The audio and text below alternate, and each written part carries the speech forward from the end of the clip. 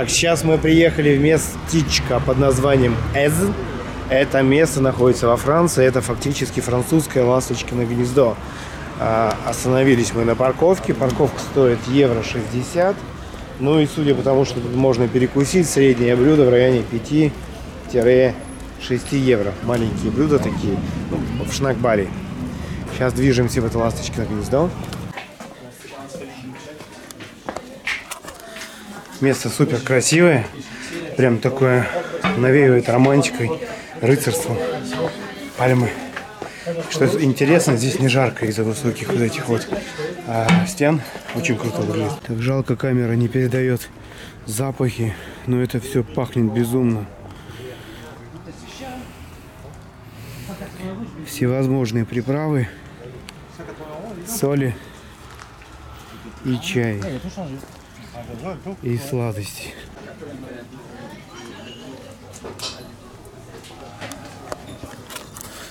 Ну, на самом деле, очень красиво здесь все, но особо здесь смотреть нечего. Здесь можно просто погулять, купить разные сувениры и э, попить вина, покушать э, креветочек, может быть, с оливами.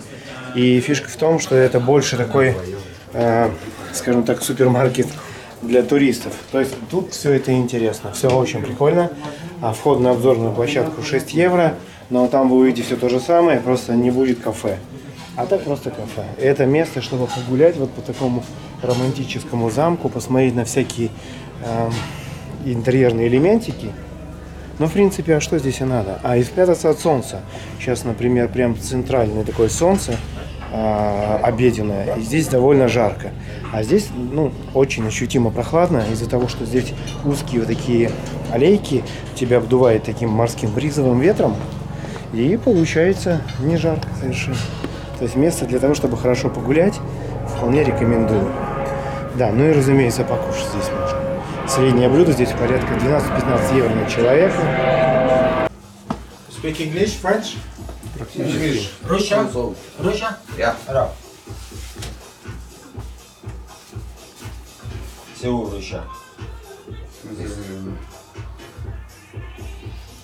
Alors, sit down. Sit down. Down. 30 seconds and after close your eyes 10 seconds. Concentrate.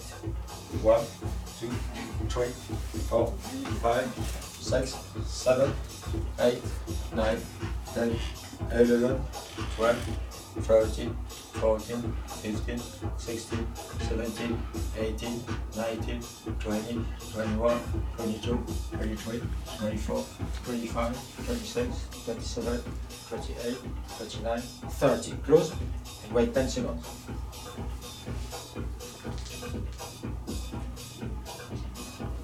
Проводят какие-то эксперименты.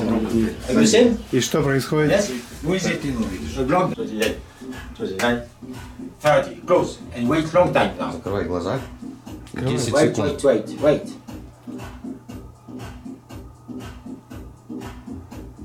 Кто там нарисован? You see blog? Brigitte Bardot. Brigitte Bardot. Что? Офигеть, я не знаю, что со мной сейчас произошло. Это жесть. Это жесть. Сейчас То есть, смотрите, картина нарисована черт знает как. Вот любая картина за моей спиной. И ты смотришь в одну точку, просто смотришь 30 секунд, потом закрываешь глаза, и ты видишь другой образ. Как это происходит? Типа, Я закрыл глаза и увидел Бриджит Бардо такую прям реально. А смотрел вот на эту картину. И чувак говорит, что у него есть картина здесь, на которую посмотреть, потом глаза ну, закрыть, и ты увидишь Путина. Представляете? Художник, Jamiroquai, singer, this. Here, Что он three говорит? years ago, here, the singer. Что, что он говорит? Jimmy's, listen to Jimmy's. You know Jimmy's Monte Carlo? No, no, no. No, 90. 90. Короче, слушайте, какая фишка. Вы заходите в это место, он вас фотографирует, и потом он делает из вас такую же галлюциногенную картину. То есть любой человек, который придет к вам домой, да, посмотрит на то, что нарисовано на а, стене, потом закроет, и в мозгу он будет видеть ваш образ. Эти вот ну, картины, фотографии, они меняют человеческое сознание. Я на себе испробовал эту жесть. Я просто сейчас буду где-то гуглить, что это такое со мной было. Просто глядя на картину, закрываешь глаза и видишь совершенно другую ситуацию. То есть, когда вы смотрите одно, а в мозгу откладывается другое. Вот влияние на человека, как это происходит, ну я в шоке.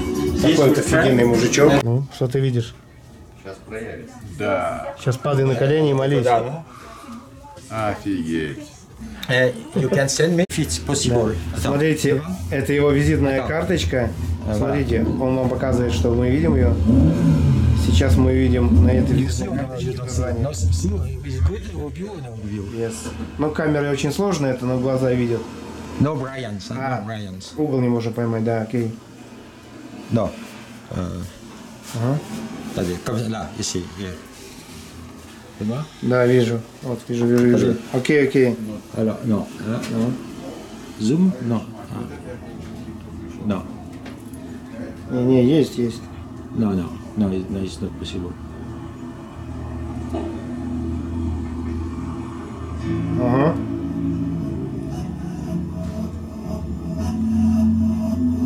Окей. No, it's true. Это Facebook. No, clear. Ну?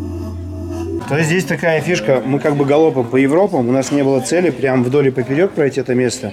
Но вот за моей спиной вы видите много дверей. И за каждой из этих дверей сидит такой же безумный художник. Это копия того, что мы примерно видели в Гуадалест э, в Испании. То есть это старинная крепость, которую теперь э, наводнили художники. Вон за моей спиной можно видеть. Это разные стили, разные направления. И те концепты, которые они предлагают, вот, например, то, что сейчас мы увидели, это с ума сойти. И если это внедрить как-то в интерьер или еще что-то, я смотрю, вот дизайнер со мной, он прям задумался об этом. И сейчас я мысли, как это засунуть в наши интерьеры. Вот. Так что, возможно, когда мы будем делать следующий интерьер, мы кому-то из наших клиентов закажем этого художника. Да? Очень много, очень похоже на поп-арт, но настолько, настолько впечатли- впечатляет на самом деле именно оптические вот эти иллюзии, ну, абсолютно. То есть, Он сказать, лидер просмотра Фейсбука, он набрал больше миллиона лайков с одной работы. Если зайти к нему на Фейсбук, это все можно увидеть. То есть известный чувачок, поэтому он находится здесь. посмотреть это всё-таки живьем Да. и познакомиться. и Но пообщаться. вот это а, посещение этого места, половина кайфа мы получили от самой этой вот крепости, этого орлиного гнезда, а половина от одного художника, который находится здесь. А если на это потратить целый день и изучить все это повнимательнее, здесь, я думаю, эмоции мы получим. Это, это, в принципе здесь все расположено в художественной галерее. То есть люди сюда приезжают за специфической живописью, поэтому не, не заехать в это место мы не могли, блин. Да, место рекомендовано для посещения. Здесь есть все. Здесь есть художник. Здесь интересно, здесь находится мишленовский ресторан, который называется «Золотой козел». И вход у него находится здесь. Выглядит он вот так.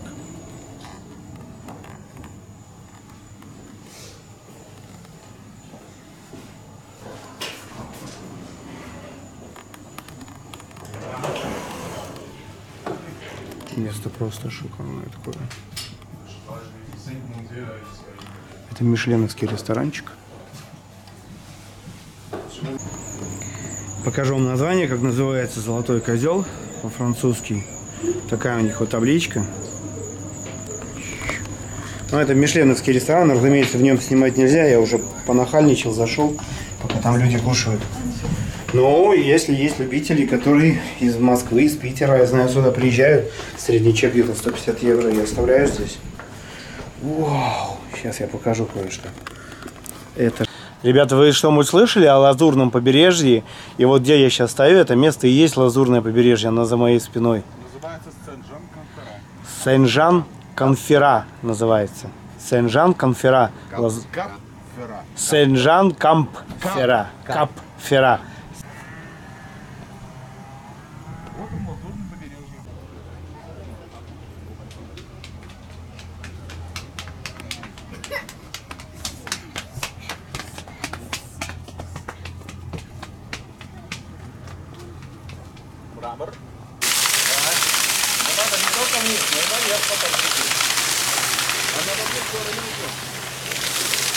Друзья мои, я сейчас нахожусь в месте, которое называется Тропа Канта. И великий мыслитель своего времени Кант именно отсюда начинал свое путешествие. И пока он шел по этой замечательной тропе, ему в голову приходили действительно гениальные фразы и шедевры, которые до наших времен дошли. И вы можете прийти сюда и попробовать сделать какой-то шедевр, прогулявшись по тропе Канта. Она очень большая, поэтому я ее так маленько вам помогу посмотреть, как она выглядит. Начинается она вот от этого замечательного водопадика. И сейчас она довольно благородная, но не в каждой своей части. И вот она пошла мимо этих всех античных скульптур, индийских статуй с богами, фикусов. И до самого побережья заканчивается она вот так. А, Друзья, что приходит в голову сразу, количество скульптур из мрамора, гранита, меди, латуни таково, что, блин, если не Версаль, то что-то в этом роде. Прорисовка фигуры, насколько этот мальчик изящен. То, что вот по тропе Канта ты идешь, ну, сотни фигур. Это просто какой-то шедевр. Я не знаю, я, я, я такой культурный шок получаю. Я просто нет слов. Нет слов, одни эмоции.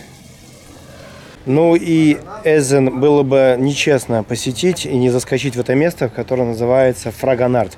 Сейчас я объясню, что такое Фрагонард вкратце. Фрагонард – это вся парфюмерия, которая в мире придумана, она придумана здесь. Неважно, какой бренд называется, он был придуман здесь. Сейчас мы сразу... Такой установочки, музей установок, а, как делают отжимку эту для духов, для запахов. И они все ну, сохранены, и выглядит вот так. Это, концентраты изготавливают. Это, скажем так, реакторы для изготовления концентратов. И они здесь представлены по мере развития. Фильм «Парфюмер» снимался вот именно по мотивам э, этого места.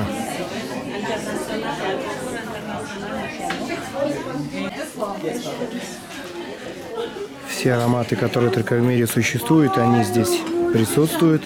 И смотрите, парфюмеры с каким видом хорошим работает. Парковка для посетителей этого места. И прямо на лазурке они находятся. И здесь есть мыло, туалетная вода. И все-все-все-все-все. А что касаемо стоимости, она, кстати, здесь невелика. А здесь средняя стоимость бутылочки. Посмотрим. 28-27 евро. Знаете, 28, 28, 35 есть, 20 евро есть. Популярный, что ли? Вот это сетаптер. Toujours fidèle. Я не снимаю вас точно, честное слово. Я так снимаю. Жур, а, Toujours Фидель. Фидель. Верен. А? Верен всегда. А, да, точно. Точно. Ну, это как Фидель. Немножко. Я одно слово знаю. Bonjour. Bonjour. А, хорошо. И два, и merci. Нет, я еще не выучил. Вот теперь знаю. Ну, Это много. Ну это много. За один день много. Это ваш первый день, да? Да. Золотое правило, которое надо знать. Вот прям вот запомните, потому что я вам сейчас скажу, неважно, где вы находитесь, в Голландии, Бельгии или Франции, ведите себя очень высококультурно. Ну, то есть я люблю иногда сказать что-то матом, понимаю, что меня иностранец не знает. Но мало в Европе мест, где не говорят на русском, где не понимают русский. Хорошо не понимают, потому что очень много русских выехало, и миллионы русских живут в Европе, и уже не в одном поколении. Сейчас мы попытались поострить, поумничать здесь, и вот женщина подошла, прекрасно владеет а, русским языком, а хотя живет уже в третьем поколении во Франции. Поэтому всегда ведите себя достойно и знайте, что понимают люди то, что вы говорите. Я всегда на этом залетаю. Ладно, да, к духам не имеет отношения, но местечко очень прикольное тем, что здесь очень бюджетно. 20-28 евро. Здесь можно купить 50 миллиметров шикарных ароматов, в том числе этого сезона. Ah вот это лимон, бергамот, яблочко, кедра. Не, он такой... Ну, он свежий такой, о. Нет, да, нет ничего. А вообще неплохо, да, раскрывается. Здесь за спиной специальные такие места, где вы можете прийти и разработать свой индивидуальный аромат, если вам недостаточно тех ароматов, которые здесь уже есть. И для вас сделают ваш индивидуальный и упакуют, завернут, и у вас будет уже свои духи. Ну, стоит это, разумеется, ну, для ребят, которые отдыхают в Монако, копейки в случае, ну, для вас, наверное, это будет немножко подороже.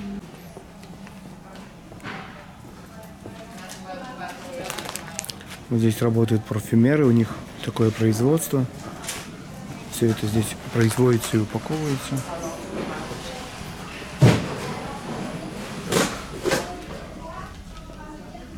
Мы находимся в Фрагонард.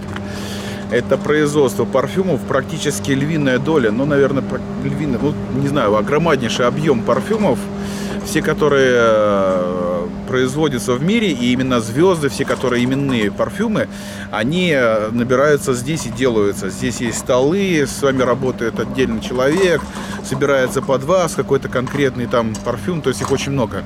Бэхэм сюда приезжал, то есть сюда приезжают непосредственно все эти звезды. Все звезды, которые говорят, что которые- придумали свой аромат, Да, это вот они было. придумывают его здесь, мы посмотрели, как это происходит. Можно самому, для самого себя любимого, сделать этот парфюм, собрать всю эту целую коллекцию и, и ходить и говорить, что это от меня, вот это личный.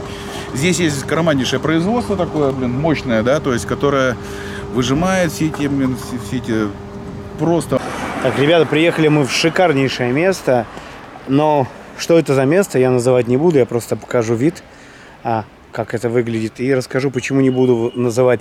Можете сами погуглить, поискать. Здесь находится вилла Чарли Чаплина, умышленно ее снимать не буду. И мы были на вилле Чарли Чаплина, и по соседству с виллой Чарли Чаплина живет самый богатейший человек России. Я думаю, он будет не в восторге, если кто-то покажет место, где он живет, поэтому ну его нафиг. Но это находится именно здесь. На этом пятачке сосредоточено такое количество а, российских миллиардеров, что французам действительно здесь не сладко. То есть это то место, где на квадратный километр больше всего сосредоточено российских миллиардеров.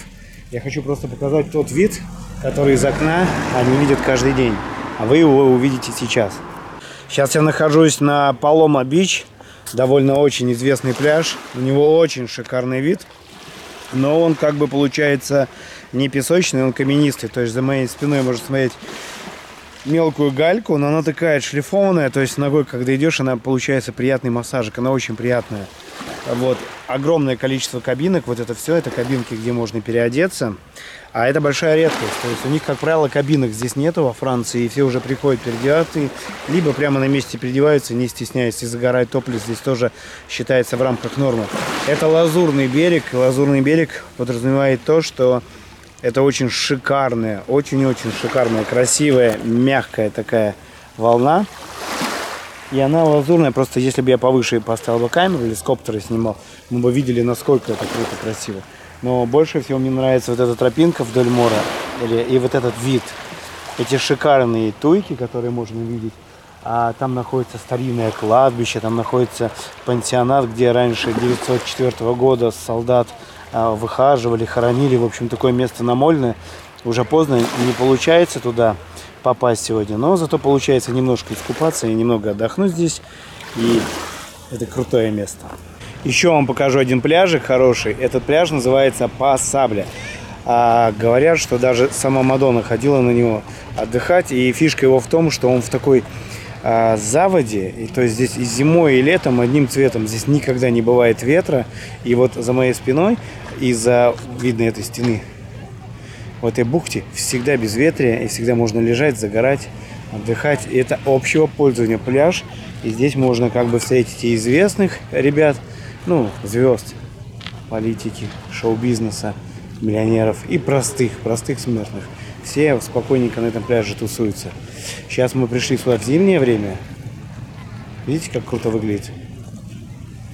И то, что здесь еще лично мне нравится, вот то, что можно смотреть вдаль на море и видеть, как уходят отсюда э, корабли. Большие лайнеры заходят в эту бухточку, чтобы посмотреть на лазурку поближе.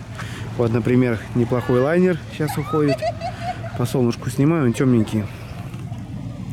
Ну и, разумеется, виллы, виллы, виллы, виллы солидных господ, они тоже здесь присутствуют.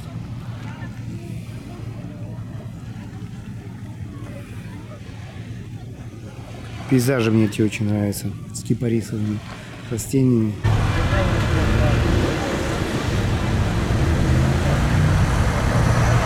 Ну что, путешествуем по Франции, и вот наконец-то добрались и до Ниццы. Мы должны были когда-то сюда приехать, и приехали сюда поздно. Но я думаю, что во всем надо искать плюсы, и начиная Ницца, она должна быть тоже прикольной. Не только дневная хороша. Погуляем по Ницце, покажу, что я увидел своими глазами от первого лица. Из прикола, что если ты знаешь, где реально, то в Ницце можно купить мясо за 5 евро. Хорошего качества, лучше. Если ты турист и здесь впервые оказался, ну, разумеется, цены будут как в любом мегаполисе. А, все-таки не дешевый город. Просто надо знать кое-какие фишки. Сейчас находимся в Ницце, экскурсии, экскурсии. Зайдем в мясную лавку. Просто для прикола посмотрим, какие здесь ценники. 2,90 мясо, 2,90, 10, 6, самое дорогое мясо, 7 евро, 10 евро, 11 евро это стоит уже стейк, 5 евро килограмм, 4 евро, 11 стейк, индюк 2,90, кролик 7 евро, курица здесь особенная, это точно черная, 5 евро, хамончик, язык 5 евро, вот он французский колорит, видно, нет? А люди гуляют, а сверху там труселя висят, нижнее белье всякое на вешалке. Вот. И капает вниз на туристов. Прикольно же, да? Вот у нас, у Алексея родился вопрос, гуляя по Ницце. Алексей его сейчас задаст вам, а вы задумайтесь. Задавай. Вот сидели мы в машине и думали, о чем думал Наполеон, когда сидел, блин, в холодной, голодной Москве, когда он ее взял, блин. Какого хера, извините за французский, я полез, блин, в эту Россию. Тепло, светло, красиво, блин. Чего я там забыл, блин? Пришел, отхватил и ушел. Не солоно. Вот на самом деле, если вы приехали бы сюда, погуляли здесь, а ведь дома стоят того периода, то есть ничего не изменилось с того времени. И я могу представить себе, что он что должен был пообещать? Рассказать, пообещать Что он должен был им пообещать, чтобы они отсюда полезли в Москву и отгребли там из сугробов и по полной. Это было большое разочарование. Ну а теперь потомки тех самых русичей гуляют по этим улицам и задаются вопросом. Да, что нужно было Наполеону, какова была цель на самом деле? Для чего он пришел в Россию? Я, честно говоря, не помню.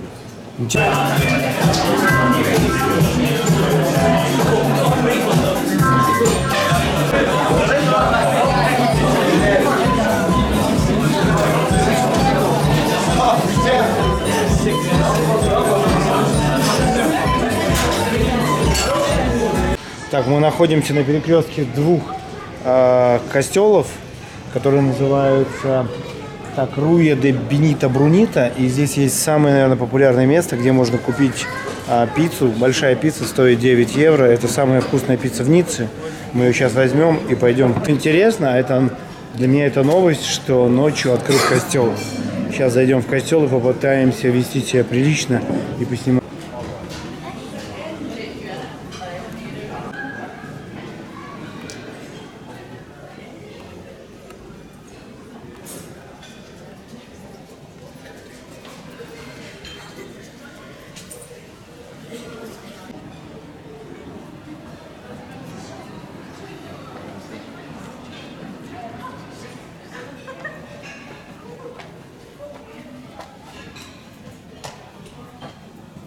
Так, сейчас мы находимся на самом центральном пляже. Точнее, не центральный пляж, а отсюда начинается променад и идет он в ту самую сторону. Это тот самый печально известный променад, где один идиот ну, давил людей на фуре во время салюта. принципе, больше я о нем ничего не знаю, если честно. Ну, кроме того, что Ницца это круто, и променад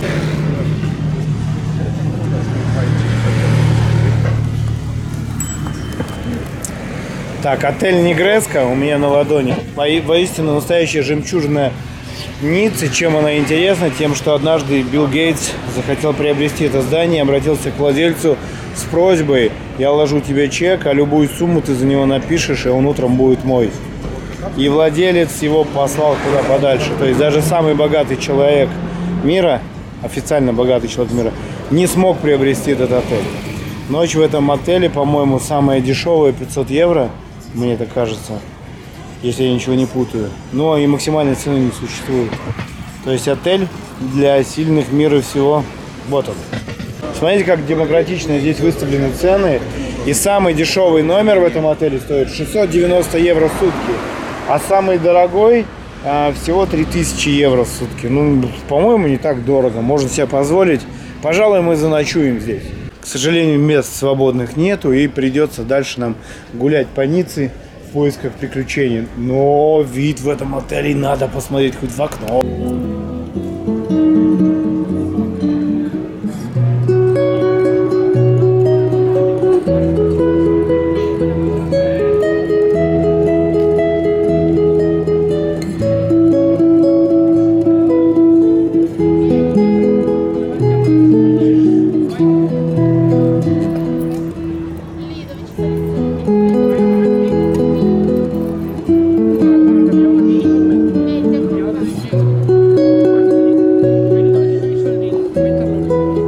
Прикольный соборчик. Это копия а, собора Нотр-Дам-де-Пари. Но только этот находится у нас в Ницце и, и выглядит в таком идеальном состоянии. Такое ощущение, как будто его ждали неделю назад. Жесть, как круто. Он похож. И хорошо. Хорошая штука, чтобы сделать фотографию такую, да, красивую. Подсветки очень много, витража очень много красивого. И качество исполнения, ну просто зачет. Вот прикольно гуляешь по Франции, наблюдать за простым рядовым французом. То есть вечер, бокал вина и просто сидит спокойно, мирно беседует, ну, о чем-то своем, житейском. То есть бокал вина и вечер удался. И миллион, миллион просто кафе, ресторанов.